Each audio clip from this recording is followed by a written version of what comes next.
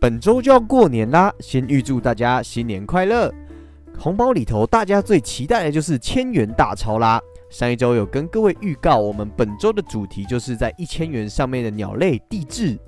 地质是台湾体型最大的特有种鸟类哦，对台湾的生态地位十分的重要，想必也是大家一辈子都在追求的目标啦。今天就带着大家跟我们一起拉近与地质的距离。影片开始之前，我们将付费知识内容免费的科普在这个频道当中跟大家分享。如果大家对台湾生态有兴趣的话，千万不要忘记按下订阅，并且开启小铃铛，才不会错过我们每一周的最新影片哦！太神奇的杰克马上开始。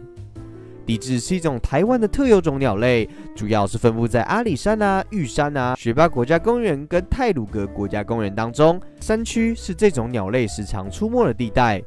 雄鸟它全身上下是呈现宝蓝色、具有光泽的蓝黑羽，尾巴是蓝黑色的，带有白色的横纹，而羽毛啊对比十分的亮丽哦。雌鸟为了抚育下一代啊，有明显的保护色，大多是呈现啊橄榄褐色，尾羽具有黑色横斑，跟雄鸟比起来，相对就比较没有那么突出。这种鸟类啊，时常跟蓝腹鹇搞混哦。最容易分辨的方式，大家可以从它的脚来观察。如果它的脚是红色的，就是蓝腹鹇；如果是黑色，就是地质哦。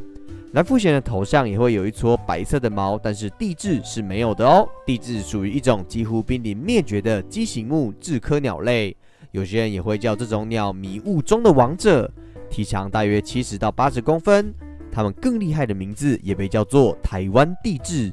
不过，这种鸟类是怎么被发现的呢？其实，在一九零六年，有一位英国的鸟类学家来台湾的阿里山采集鸟类资料的时候，无意间的发现原住民头上居然有两片非常漂亮的羽毛，而这两片羽毛非常吸引这两位鸟类学家注意。这位鸟类学家回到英国的时候，便开始了一连串的研究，才发现这个羽毛是台湾特有种的新鸟种。到了同一年，一九零六年十一月的时候呢，台湾总督府博物馆的采集人员在阿里山附近采集到的二十只地质，后来也在一九零七年发表在学术界，也在一九一二年把活的地质呢送到了欧洲。这个鸟类其实是不容易在野外被我们发现的，它喜欢生活在比较陡峭的森林中。虽然这种鸟类很稀有，但是吃的东西跟我们熟知的鸡很相似。它会去吃一些蚯蚓啊、昆虫啦、蚂蚁呀，或者是吃一些植物的嫩芽啦、果实啊作为主食。地质领域性很强哦，通常是独来独往的，只有在繁殖期的时候才有可能会见到成双成对的出现。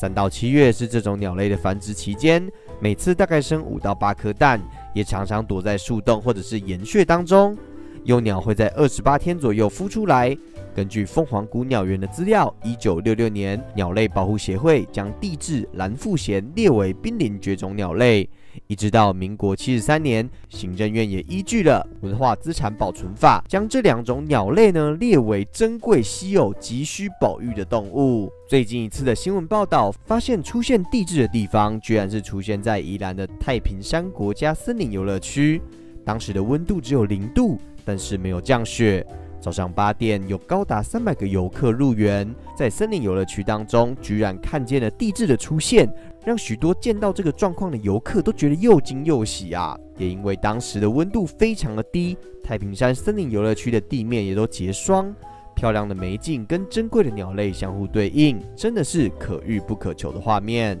这种鸟类也被叫做国鸟，也是因为有这样子的原因，又非常的珍贵，更是台湾的特有鸟类，所以被放在一千元大钞上面，变成了大家既熟悉又陌生的鸟种。但是想必大家还是都很想要看到那一张印着地质的蓝色纸张啦。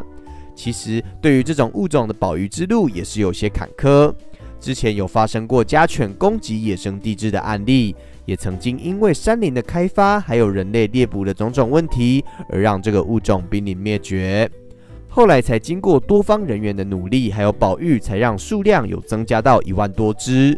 除了刚才提到的地点之外，在台湾的中部大雪山，也有可能会观察到地质的出现。这也是为什么在这些山林总是有许多拍摄鸟类的爱好者，守候着非常长的时间，就为了看一眼这种鸟类的真迹。但是也要提醒大家，林务局有加强推广赏鸟五部曲，不惊吓、不引诱、不追逐、不破坏、不捕捉。在观察野生动物的同时，也要谨记生态保育的重要，千万不要惊吓到野生动物了。二零一六年的时候啊，有一位民众在台中大雪山拍摄鸟类的时候，为了要拍到更好的画面，放了一些鸟的声音，或者是拿食物喂食野生的鸟类。这个看似不怎么样的拍摄举动，其实已经触法，最高可以开罚三十万元。还有人会在地上撒饲料，把这些地质给养肥，甚至在这个地方还有大雪山养鸡场的称号。不过这并不是一件好事，这些野生动物会开始对人类失去戒心，还有可能会吃下不适合它们吃的食物。严重了影响了野生动物的正常生活。为了保护这种鸟类，你愿意花多少时间呢？让人很难想象的是，人类为了要富裕这种美丽的地质，富裕这个物种，竟然花了三十年的时间。例如去划设呢野生动物的栖息地保护区，维持生态林道，或甚至尝试寻找专家进行人工繁殖。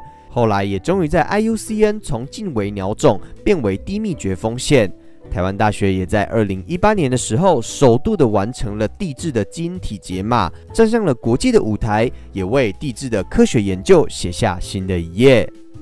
今天的影片为各位介绍大家肯定喜欢的鸟类，我们也一起了解了关于地质的生态，还有曾经面临的生态危机。这真的是一种非常值得我们保护的物种。面对着重重的挑战，还有环境的难关，在二零二零年疫情比较严重的时候，人类比较少接触到大自然的时间里，台湾许多野生环境当中的许多的野生动物，也都是在这个时候有了喘息的空间，数量跟野生动物的活动状况得到良好的提升，也算是野生动物的幸福时光。虽然现在大家已经开始正常的活动了，不管是到大自然里头踏踏青、赏鸟，也都慢慢的恢复成以前的状态。但是千万不要忘记保护这种鸟类的重要，也千万要注意，不要因为好奇心而不小心犯法了哦。喜欢我的影片的话，可以给我一个喜欢，你也可以订阅这个频道，并且开启小铃铛，才不会错过最新影片。我是爱台湾的杰克，跟我们一起了解更多台湾的生态故事吧。